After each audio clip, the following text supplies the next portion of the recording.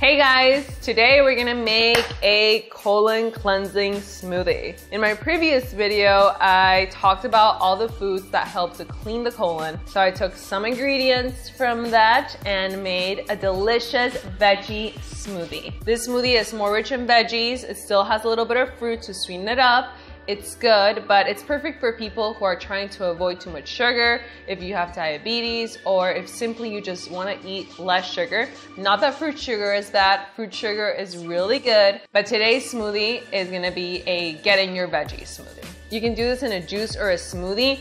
A juice is gonna be great because your body's gonna absorb all the nutrients better, but the smoothie contains the fiber, and the fiber is extremely important when we wanna clean out the colon. This smoothie is also rich in water, which is gonna help hydrate the colon, and it's full of nutrients, which is gonna help detoxify your body. Are you ready? Okay, so what are you gonna need? First ingredient is pineapple. Pineapple is a great anti-inflammatory. Many times the colon can be into like different shapes. In the video that I made of getting a colonic, I showed you guys a picture of colons that are like with knots. People get constipation and they can't go to the bathroom and food gets stuck in there and that creates toxicity. So pineapple will help against inflammation and will also sweeten up our smoothie. Next is one large cucumber and cucumber is gonna hydrate our colon. We want our colon to be really hydrated. That way we can break down all that fecal matter that's in there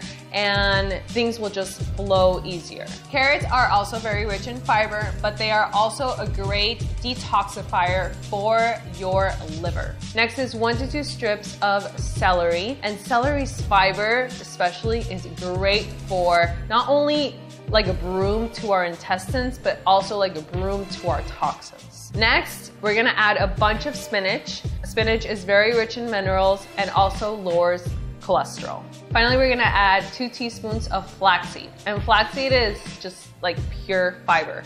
We really, really want that fiber and that water in our smoothie in order for everything to just flow better. You put everything in the blender and what do we say?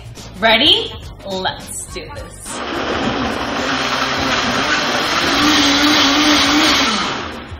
It's ready! Okay, okay, okay. I know that the color is not beautiful. I know that, I know that, okay? But trust me, it's good. Don't be put off by the color. Just imagine all of the nutrients that are going into your body, into your cells, into your blood, into your veins. You're gonna make your skin shine, your hair's gonna look better, you're gonna feel better, no headaches, no flus. You're just gonna feel amazing and you're getting all your veggies in. All right, so let's try it. Mmm. Mmm. Wow, it's super, super, super refreshing. It's honestly really good.